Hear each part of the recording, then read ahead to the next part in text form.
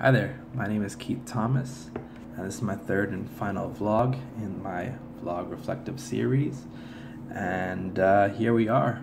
It's the end of the term and end of class. So much that we've learned, so much that we've gained, so much that uh, um, we've grown, and um, you know, just looking at myself as a learner and the concept of reflective practice and realizing that reflection is part or, or completes the learning process.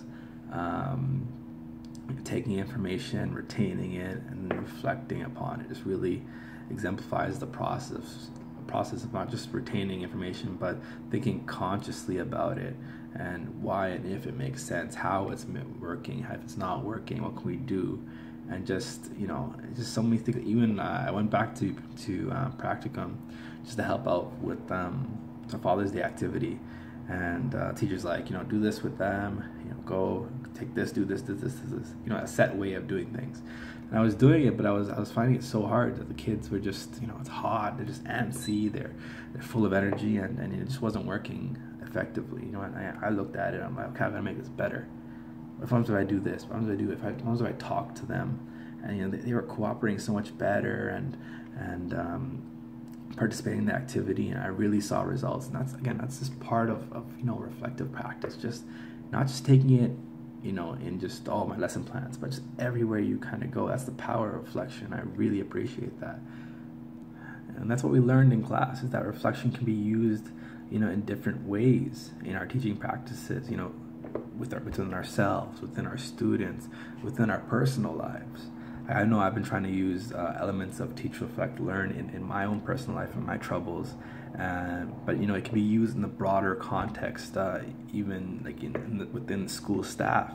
And uh, I remember that, that shown in um, the Lewis reading on uh, how do Japanese teachers improve their instructional practice. Um, and here, teachers use reflection is used in the broader context by working with their colleagues and not improving my class or you, you know my students your students but our students. You know that's the power of of lesson study. And that's what it is this concept of lesson study of learning by working with colleagues observing each other's classrooms our lessons discussing upon it talking about how we can improve our instructional practice.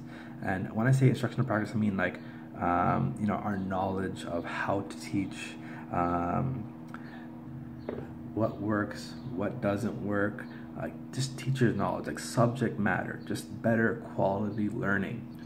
And in Japan, they have a wonderful system where they just they work on different levels. You have the university-based schools, you have the regular government schools, you have centralized government schools, it's just in the public schools. It's just they all work in unison and they all use this concept of reflective practice at each level, and you know with it higher quality of teaching and not you know subject knowledge, especially from the university-based schools. Um, you just learn so much more in, in the content. You're keeping up to date with knowledge, and that's what I really like is you work with colleagues and because you're you know I feel at practicum I'm, a, I'm alone. I'm a I'm an island you know? And that's how I feel like we've had to approach the curriculum just learn the content on our own. But with lesson study you know you can work with different teachers and uh, and learn together and, and, and grow. Because and it's what it said in the reading is that a, um, a brand new teacher or more like young, uh, uh, earlier started teacher has every is every more uh, much to give than a, a, veteran teacher. You know, every, for example, like I'm from the, I'm from the faculty. I'm fresh out. I've learned new concepts and ideas, new applications, new ways to use technology. I feel like the you know the veteran teachers they, they would really appreciate that. You know, if I can give some new input on new ideas, and likewise they can help me and with their experience, their wonderful experience, and how I can approach things differently, and what can I do better, and how can I teach this, how can we do that. So lesson study is really it's a beautiful technique and i really hope that when i get hired you know that's something i can slowly start to implement and, and grow the school community as well. And in turn the result is student knowledge is also improved and that's why we're all here so why not? Um, in terms of my own reflective practice of where i've, I've reached uh, to date is that you know i feel i've come a long way uh, in learning about reflection and the power of utilizing it and the different ways of using um, in lessons in which uh, and it can be used at different levels as well. And another thing that exemplifies like how far I've come is, is in chapter nine when it, um, in Teach Reflect Learn when it asks us to go back and take the reflective assessment tool again. You know, it helps you see um, you know the difference you've made over the past few weeks. And uh, after taking the test again, you know, with my new mindset, um, you know, I got a higher score than before. Um, but I still found myself just on the edge of the action stage, you know, approaching the, the, um, the you know, the ideal uh, refinement stage, and um, which again I feel is fair because I feel like, you know, unless I actually implement, I have a mindset, but unless I implement it in the classroom day in day out, you know, for you know, for let's see, I don't know, consistently for maybe two, three, four weeks, you know, then I can honestly feel like, you know what, no, I deserve better. You know, I not deserve better, but I feel like I've, I've come further than I am, you know. And I feel like if this class was was ongoing throughout practicum, then I can I can honestly say if I've actually reached that stage where I've actually taken on the mindset and I've put into practice. I feel like with the stress and everything, you kind of have to implement it uh, along with our teaching practice and try to manage it and, and see how we are.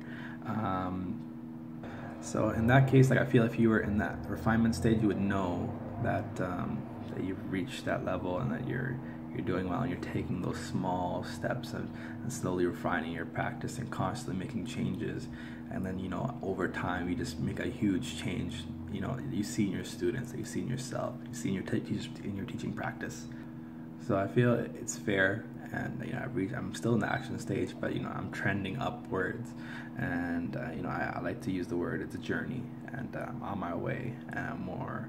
And like in terms of the growth I've I've, I've, t- overcome, I've taken over these these past few weeks is that I feel I've you know been more conscious and more self-aware, uh, you know in my approach in teaching and in life in general as well and um, you know, like I said, just the, the word for me is just it's very much a journey. You know, I will keep on you know, rereading, teach, reflect, learn, and uh, it's a wonderful book. Keep on, uh, you know, uh, reading that and rereading it if possible, and you know, keep keep reflecting. You know, uh, in my own ways that you know, especially these new tools and new methods, whether it's personal vlogs, journals, you know, talking with colleagues, um, engaging in my PLN you know, and hopefully, you know, when I get hired, you know, I, I'd really, I really like the, this concept of lesson study, and hopefully, you know, uh, I can grow I not, not only myself as an effective teacher, but those around me, which I feel is, is, is my up my alley in terms of um, being a, a, a, better teacher, is improving those around me, not only my students, my you know the staff and the school uh, community as well.